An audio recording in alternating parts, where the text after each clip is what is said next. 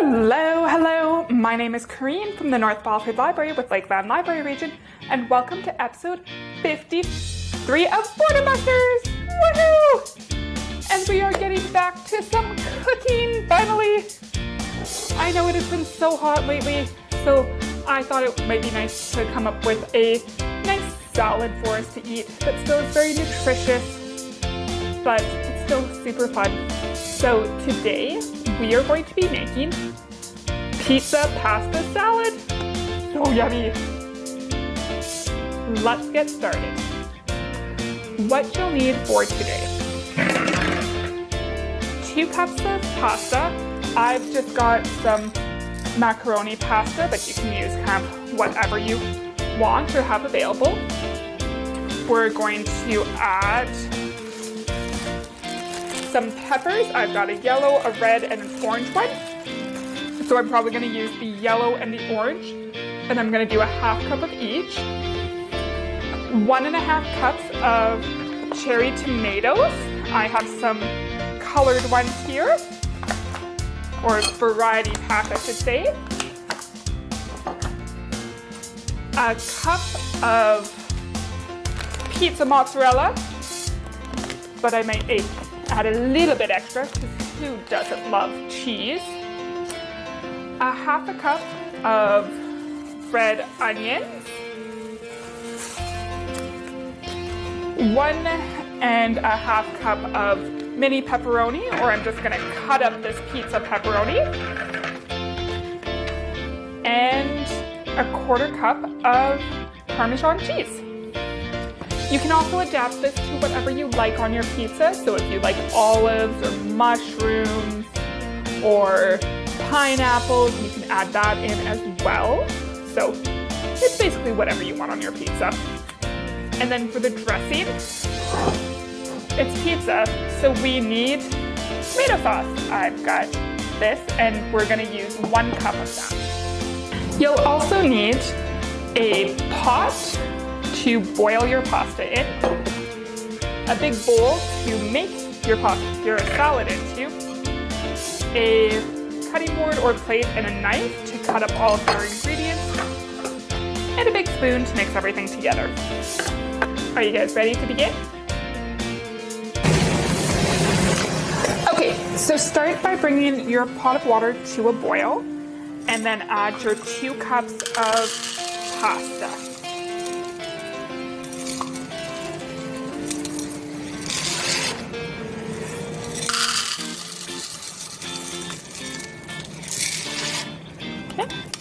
And then you want to cook this so that it's al dente. So that means that it's fully cooked, but there's a, it's still a little bit tough when you cook, when you bite into it. Make sure to keep stirring it so that it doesn't boil over. So this takes about uh, 10 minutes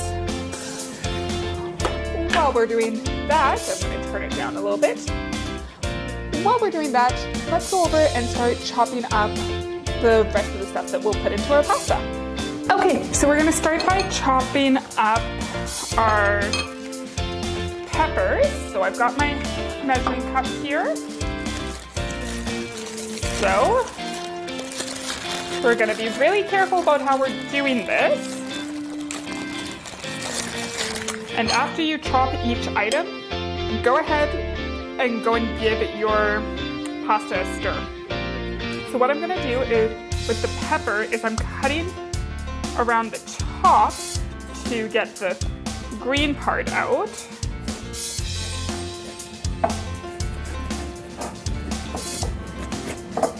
I'm being very careful with this. And pull that out. And then you've got that. And then you cut this in half.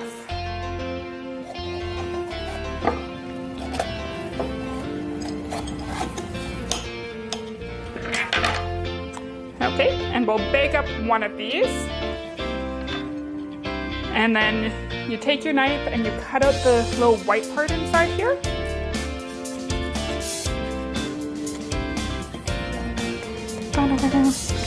And then I usually go and give my pasta, my pepper rinse to make sure I get all the seeds out.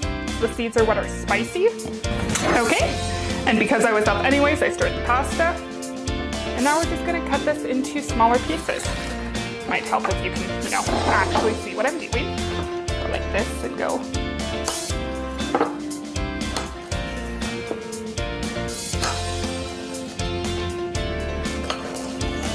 So a trick that I was taught when cutting stuff is you push forward and then back.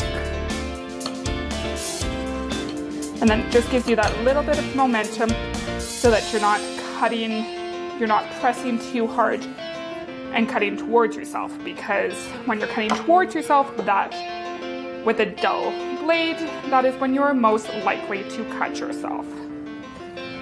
So And I'm just kind of making these bite-sized. And if you wanted to, you could probably fry up your peppers and uh, onions ahead of time too, or eat them raw, whichever you like. And I'm just gonna start putting these in here. Because I'm gonna have a half cup of yellow and a half cup of either red or orange, because that's what I was able to buy at the store. Technically, the recipe calls for red and green peppers, but sometimes you just gotta make do.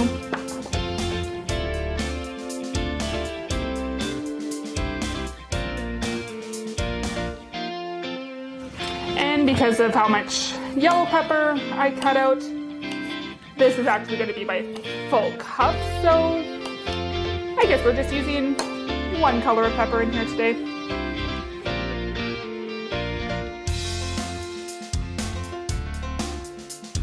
And of course, you've got to sample your ingredients while you're cooking too. Make sure that everything's gonna taste all right.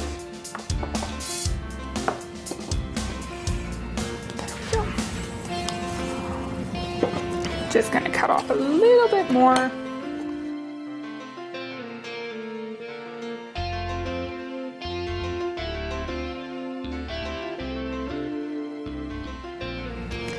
Okay, so we've got a cup of peppers.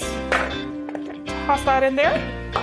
Okay, so we're gonna start by chopping up our peppers. So I've got my measuring cup here. So, we're gonna be really careful about how we're doing this. And after you chop each item, go ahead and go and give your pasta a stir. So what I'm gonna do is, with the pepper, is I'm cutting around the top to get the green part out.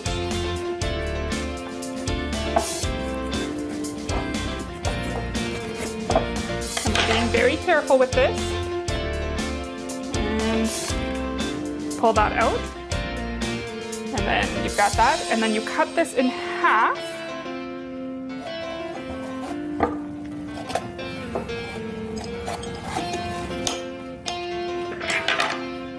Okay, and we'll bake up one of these. And then you take your knife and you cut out the little white part inside here.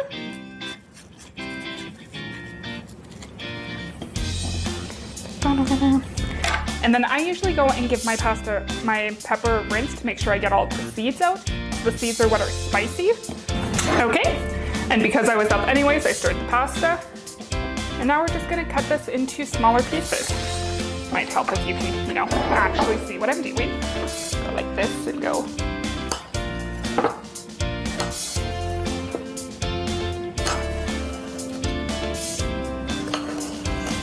So a trick that I was taught when cutting stuff is you push forward and then back. And then it just gives you that little bit of momentum so that you're not cutting, you're not pressing too hard and cutting towards yourself because when you're cutting towards yourself, that with a dull blade, that is when you are most likely to cut yourself.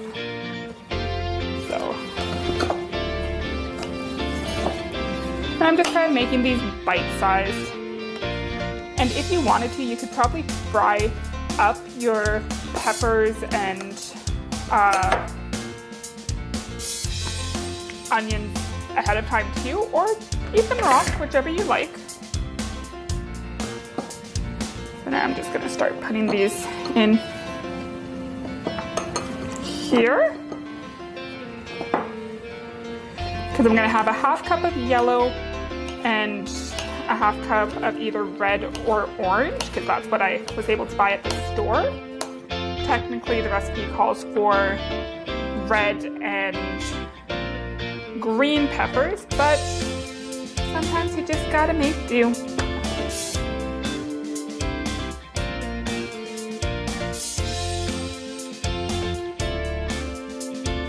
And because of how much yellow pepper I cut out, this is actually gonna be my full cup, so I guess we're just using one color of pepper in here today.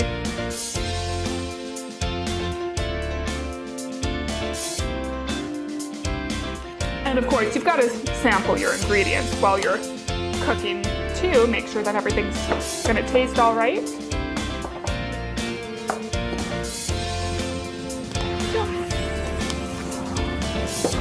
Just gonna cut off a little bit more.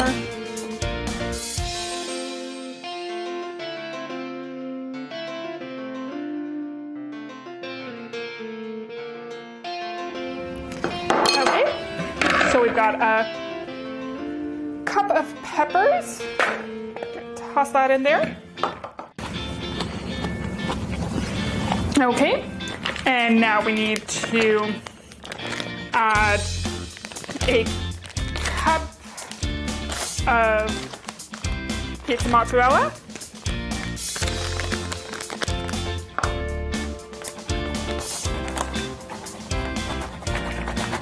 Plus a little bit extra because who doesn't love cheese?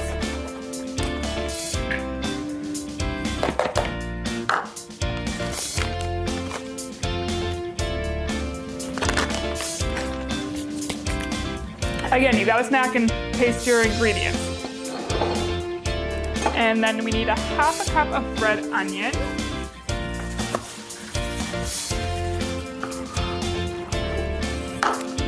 And my coworker did cut some up the other day with her recipe, so I'm just gonna take what she has cut up.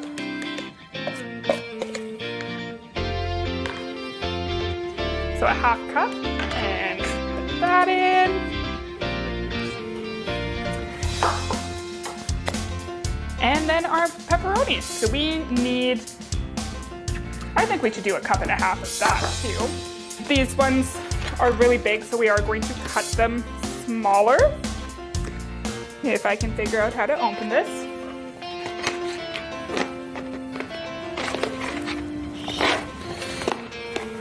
Apparently this one is resealable. So I'm just gonna grab that and open it that way. Amazing what happens when you, you know, actually read directions. I'm just going to grab a stack of pepperoni and get it kind of all together to make it easier to cut.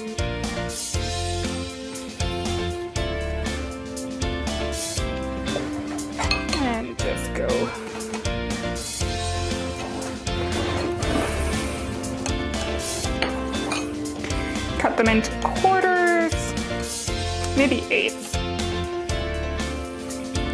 Just like you would cut up a pizza.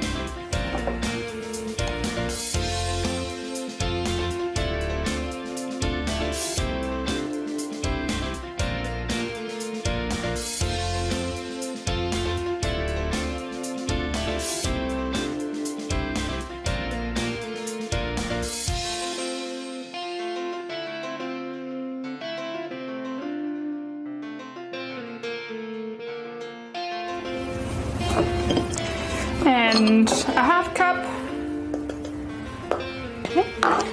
And now we're gonna stir this all together first, just to kind of help get everything loose and ready.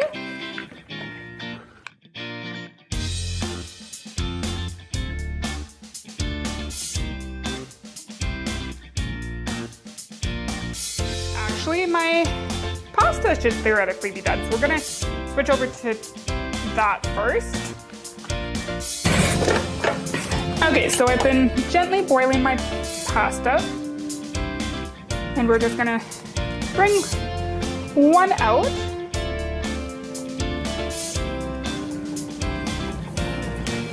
Cool it off, so blow on it to cool it. And just take a quick bite of it to see if it's cooked. So you don't want it like rubbery, but you want it like soft to eat. So this is ready. I'm gonna turn that off. And I'm going to go and drain this and run cold water on it to help it cool off faster. Eh. And now our pasta should be cooled because again, we ran it under cold water and then we let it sit for a couple minutes. So we're gonna add that in.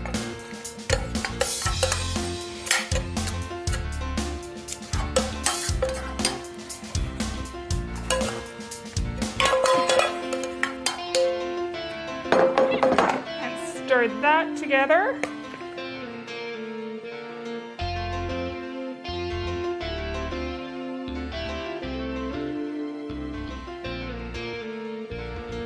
And we're almost done. We're just gonna add a cup of pasta sauce to this as well.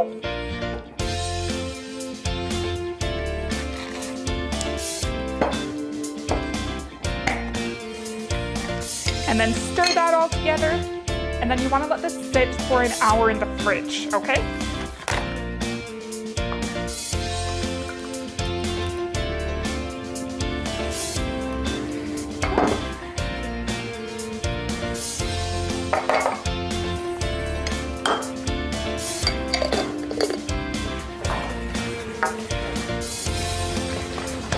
or at least an hour, I should say. You can let it sit longer too if you want.